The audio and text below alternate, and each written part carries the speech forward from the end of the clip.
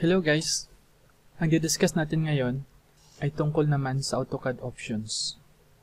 Ano nga ba ang meron sa AutoCAD options at para saan ba ito? Simulan na natin.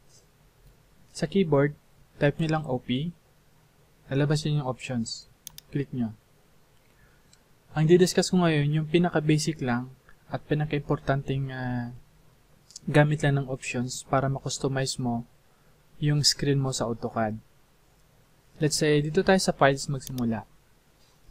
Dito sa files, marami ditong uh, pwede mong i-customize. Pero ang importante lang dito, ang i-discuss ko. Punta tayo dito sa printer support file path. Kung nakita nyo yung plus sign, click nyo lang. At dito sa ibaba, makikita nyo yung flat style table source path. Click nyo yung plus sign again. Andito yung path ng CTB file. Yung CTB file, yun yung color or pen assignment na gagamitin nyo kapag nagpa-plot kayo which is usually ginagamit. Okay. An cancel ko muna. Ito ibig kong sabihin. Let's say magpa-plot tayo or magpi-PDF. Ito, so ito yung default. So let's say click natin to. Yes. Tapos sa PDF tayo, DWD to PDF. Paper size. Kahit ano na lang muna. Oh, let's say uh, A4. Window. Center the plot. Apply to layout. Preview. Pansin nyo. I, ano natin, rotate, uh, portrait natin. Apply. Okay. Pansin nyo, sobrang kapal na mga thickness niya at naka-bicolor. Kasi wala pa kayong uh, ginagawang sarili yung CTV file or pen assignment or kung meron man, hindi nyo pa na-link dito sa drawings. So, para ma-link yan dito at makita natin dito, gagamitan natin ng option. Cancel natin. Balik tayo sa options, OP. Okay. Then, files, printer support, file path, then, flat style table search path. Ito, click lang natin to. I-browse natin siya. Pwede kayo mag-add, pero mas prefer i-browse nyo na lang siya kung saan nyo sinave yung CTV file. Yung CTV file, ituturo ko din yon. Abangan nyo lang. Dito sa YouTube channel, CAD Vlog, andito siya. CTV file. Kung makikita nyo yan, kiklik ko dito, YouTube channel, CAD Vloggers, CTV. Ito siya. Ito, ito, ito siya. CAD Vlogger. Balik tayo sa AutoCAD. Yan. Okay natin. Apply. Then, okay. Type natin ngayon sa keyboard, flat, or Control P. Yan siya pansinin nyo, nagkaroon ng exclamation point or error dito sa may class style table or dito sa may pen assignment. Click natin kung bakit. Nawala na yung mga default na mga pen assignment niya. At kung napapansin nyo, lumabas na yung CAD Blogger CTV which is yun yung nilink natin kanina na, na nakasave doon sa folder ko. Sa folder na CAD Blogger. Ito yon Ayan siya. I-click natin. Ayan. Assign this flat style table to all layout. Click yes. Default natin to kasi wala akong connected printer. So, DW to PDF lang para makita natin kung tugma ba yung pen assignment ko doon. Kung tama ba yung thickness para sa drawings. Okay. Click window apply layout natin kasi naklik ko naman siya kanina. Then, preview. Ayan. Mayroon na siyang tamang thickness. Which is, ito yung pinrefer ko para sa drawing na to. Okay. Skip natin.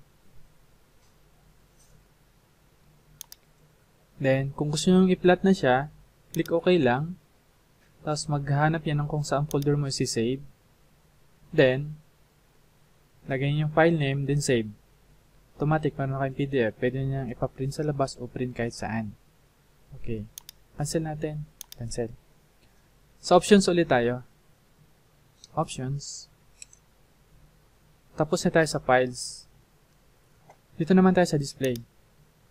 Dito sa display, kung napapansin nyo, medyo dark yung screen ko, yung mga toolbar, kasi yung color scheme na pinili ko dark.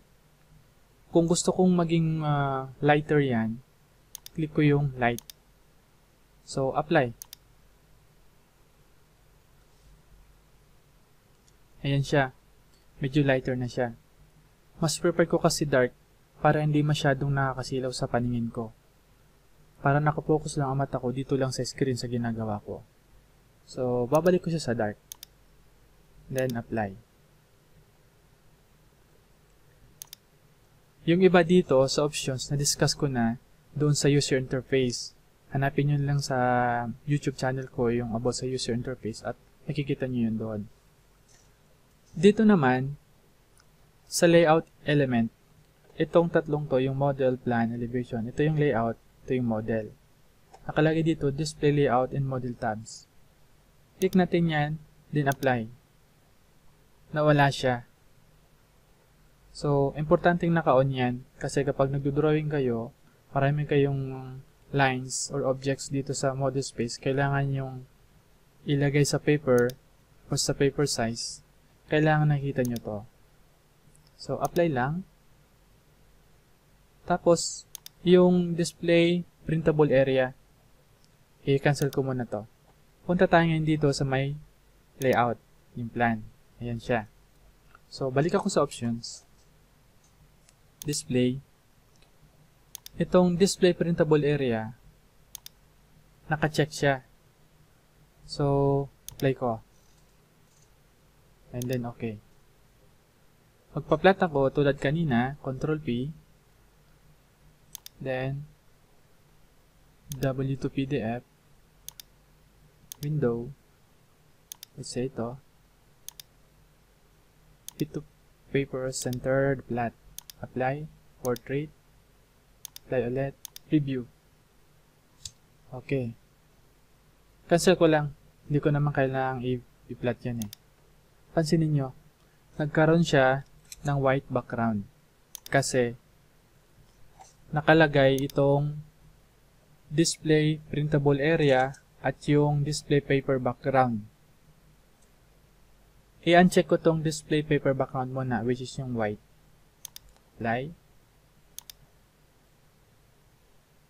Okay. All white na siya. At ito yung, ito yung hidden line na yan, yan yung printable area options ko, uncheck ko yan. Apply. Okay. So, hindi na siya kita. ba? Diba? So, balik tayo sa options. Mas prefer nyo ba yung white background ng, ng paper space or black? Ako mas prefer ko dyan black. So, options ulit. Pagdating dito sa colors, yung uh, sheet layout, gagawin ko lang siyang black. Apply. Apply. Okay. Ayan siya. Tulad na siya ng color ng model at ng paper. So, option ulit natin. Display, color,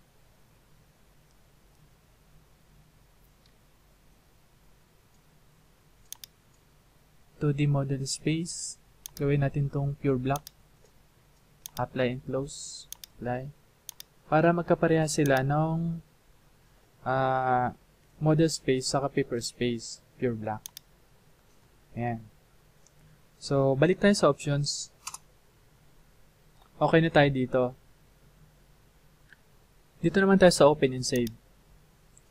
Dito sa file save as, napaka-importante din ito let's say, ang version ng AutoCAD mo is 2020, tapos, nakikipag-collaborate kayo sa ibang company para sa drawings, let's say, consultant kayo, contractor sila, may kailangan silang drawing sa inyo para i-modify nila. Tapos, ang AutoCAD nila is AutoCAD 2015. Ang sa is 2020 or 2018. Ang kailangan mo lang gawin dito, para hindi siya hingi na hingi ng lower version ng AutoCAD, set mo na dito. Dito, let's say, pinakamababa na. Para kahit sinong humingi na mayroong lower version ng AutoCAD, hindi ka na maistorbo para humingi sila ulit. Apply mo lang yan, then okay. Ngayon, bawat save mo nitong file, automatic nakasave na siya sa lower version ng AutoCAD. Ganun siya. Option ulit natin. So, okay na tayo dito. Dito naman sa file open, may nakalagay na 9. Ito yung tinatawag na number of, of recently used files. Ito, napaka-importante para, halimbawa, kung meron kayong binuksang file kahapon, pag mag-open kayo ng file, hindi mo na kailangan click dito open at hanapin pa kung saan man nakasave yan. Kasi, kung napapansin mo, may nakalagay ditong 9. Ito yon Cancel ko ha. File. Ito siya. Recent documents. 9 na mga recent documents mo or drawings ang lalabas dyan. Ganun siya. So, option ulit natin. Dito naman tayo sa, sa plot and publish. Ito mostly ginagamit kapag uh, uh, gumagamit ka ng sheet sets. Sheet sets ginagamit naman yon kapag uh, maramihan yung drawings. Let's say sa isang building, ilang drawings meron dyan. Merong electrical, mechanical, plumbing, structural, details, at marami pa. So, saka ko nituturo yan. Dito naman tayo sa system. Ito, hindi naman to gaano importante. Basta tumatakbo yung na-install yung AutoCAD sa computer mo, okay na yon.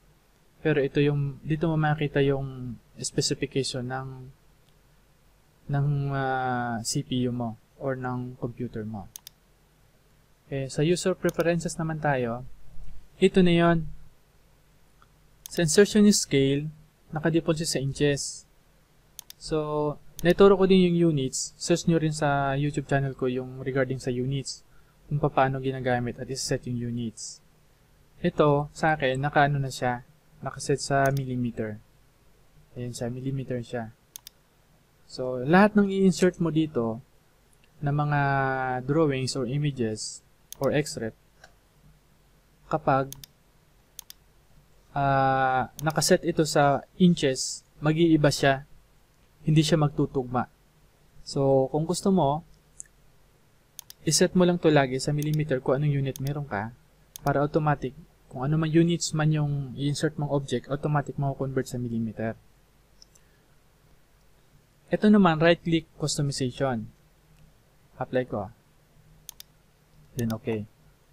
Pansin mo, mag-right-click ako dito. Ayan, lumalabas siya yung menu niya. I-option natin right click optimization, i-turn on ko to. Turn on. Ang sabi dito, quick click to enter. Apply, apply, okay. Pag ni-right click ko, walang lumalabas na menu. Kasi, yung last command ko na options, siya ang lalabas. Like, quick enter nga, di ba? So, press ko yung enter sa keyboard, lalabas yung last command ko, options. So, ganun din dito sa right click, lalabas din yung last command ko. So, ang gagawin ko dyan, ibabalik ko lang siya sa dati, i-uncheck ko lang yan, apply and close, apply, okay. Right click ko ulit, bumalik siya sa dati. Options ulit tayo. Dito sa drafting, as is lang muna yan. Yung colors dito, pares lang yun ng colors doon sa may display dito. So, 3D modeling, ituturo ko din yan later pag gumagawa na tayo ng AutoCAD 3D. Sa selection tayo. Dito sa selection, ito yung pick box. Cancel ko muna para mapakita ko sa inyo yung pick box. Cancel. So, ito, itong gumagalo na to, yun yung pick box saka crosshair. Punta tayo sa model. Dito, ito yan, pareha siya, ba? ito yung crosshair. Ito yun. At ito naman yung pick box.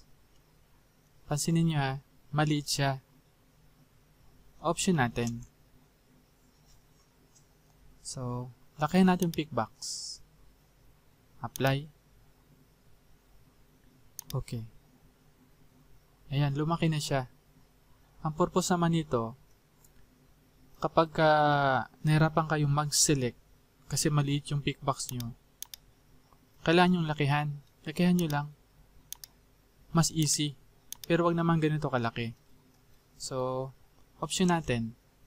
Tansyahin, tansyahin nyo lang. So, apply. Okay. Pero pwede nyo lakihan to by number sa keyboard. Prefer ko 10. 10 number niya. Yung size niya. Type nyo sa keyboard, pick box. Then, Pwede yung, let's say, gawin kong 6. Ayan siya. Enter, gawin kong 10. Ayan. Ito yung gusto kong size ng pickbox ko. Ayan siya. So, crosshair naman tayo. Option ulit natin. Okay nito sa pickbox. Dito naman tayo sa crosshair. Dito sa display. Then, crosshair. Laki lang natin to. Apply. And then, okay. Pansinin nyo.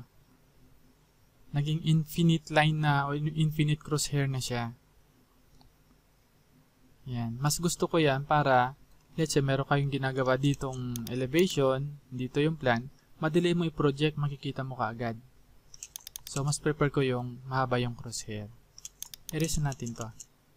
So, balik tayo dito sa options. Yan. Dito tayo kanina.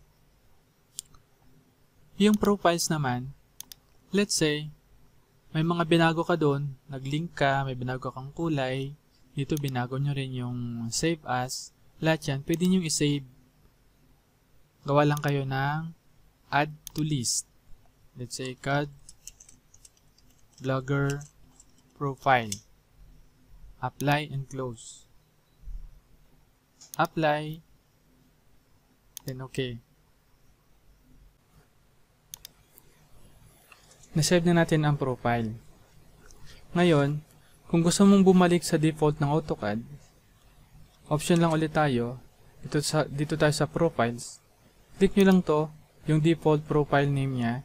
Then set current. Then okay. Babalik siya sa original settings ng AutoCAD. Ngayon, kung gusto mong bumalik sa dati mong o sa profile mo talaga, so click mo lang yung profile, then set current. Automatic.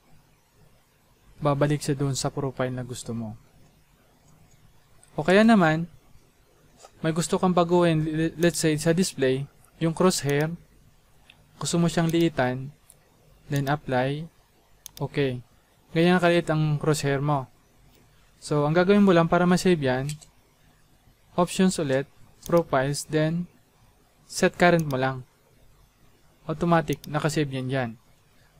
Kahit ibalik mo yun sa default ng AutoCAD, set current natin yan. Tapos, ibalik natin dito sa profile mo, set current, okay, ayan, nakasave na siya. So, ganun lang siya. Balik natin to sa crosshair na 100% apply. Then okay. Then option ulit tayo. Ngayon sa profiles, kung gusto mo siyang gamitin kahit sa ang computer, i-save mo lang siya sa USB. Click nyo lang siya, then export. Save nyo somewhere sa USB mo or sa, kahit saan sa computer. Then send mo sa email mo para kahit nasaan ka, pwede mo siya ma-access. Kapag na-save mo na siya, at na, na nandun ka na sa ibang computer, click nyo lang yung import sa AutoCAD, browse mo lang siya, then import. Automatic, mapupunta siya dito at magagamit mo na yung profile mo. Hope you guys you learn something from this video and don't forget to like, share, and subscribe. Kung may katanungan kayo, mag-comment lang kayo sa baba at sasagutin ko kaagad sa oras na mabasa ko.